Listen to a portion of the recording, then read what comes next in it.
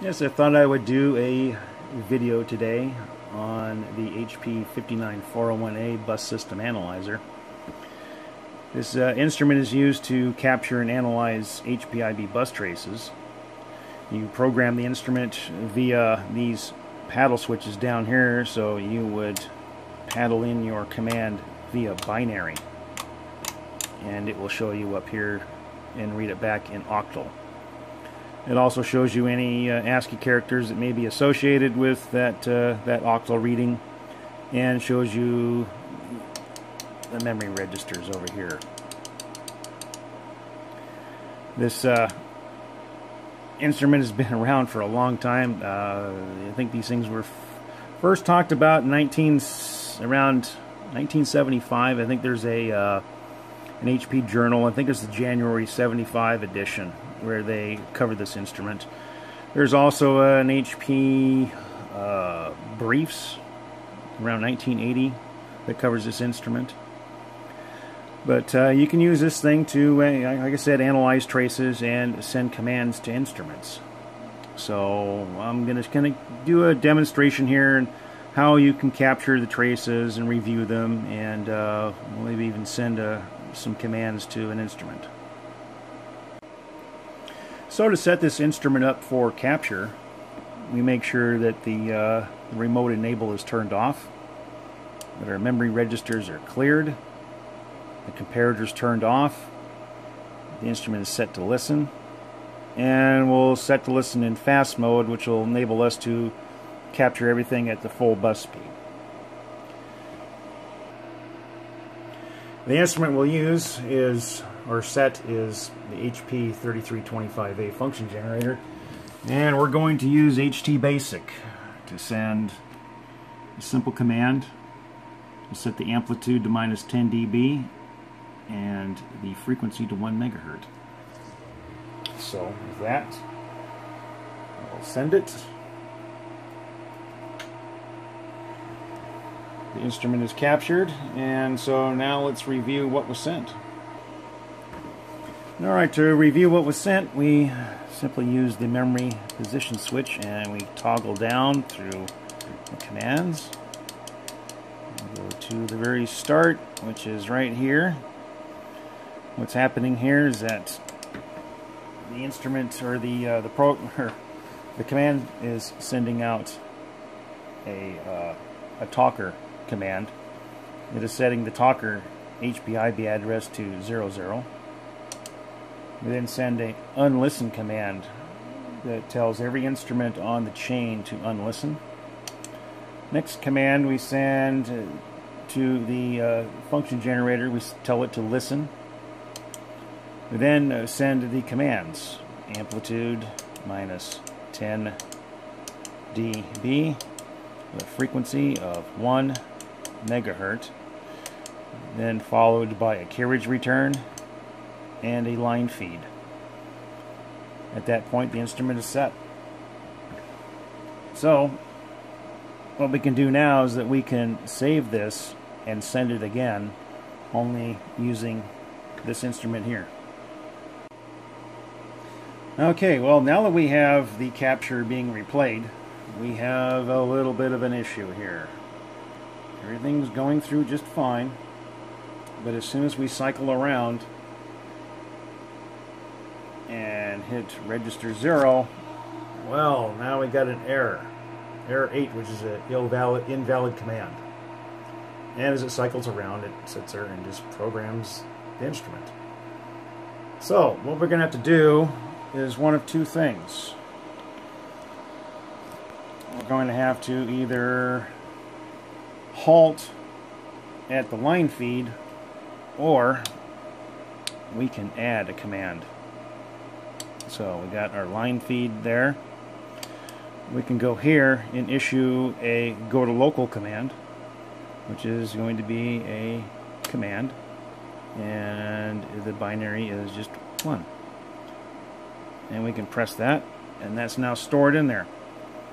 So now we can go back and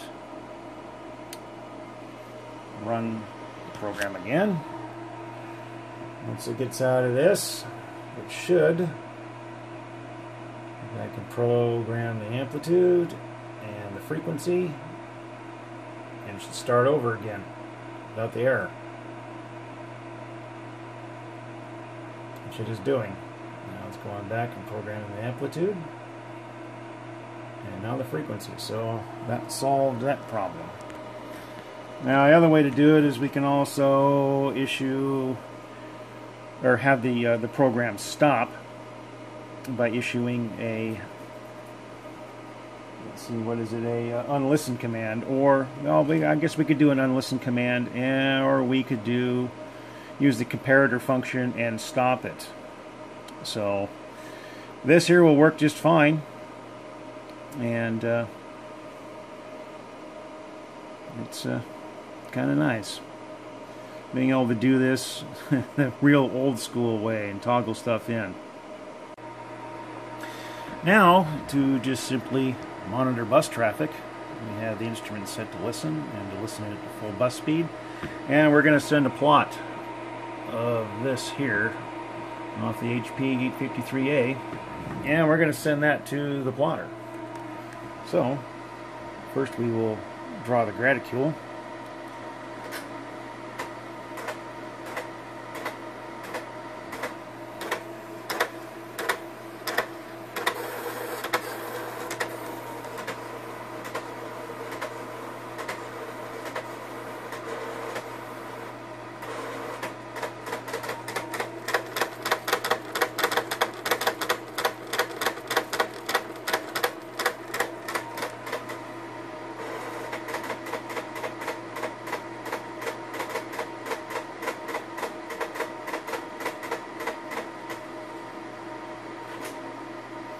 Now, we will send the trace.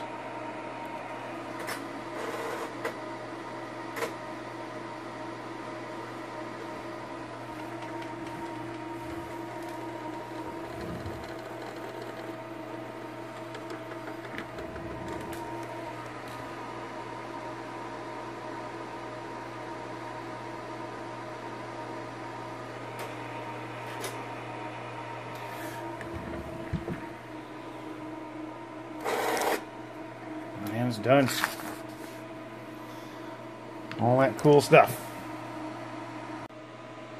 So to wrap things up here, I just wanted to briefly cover a couple of tools that I use to do all this programming.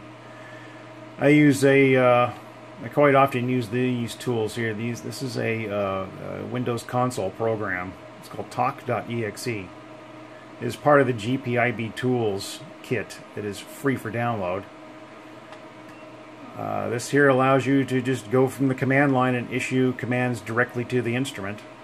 I also use a commercial product called HT Basic, which allows me to write software in BASIC to take even code examples right out of the owner's manuals. And let's see here, we can uh, open up a file here. This one here.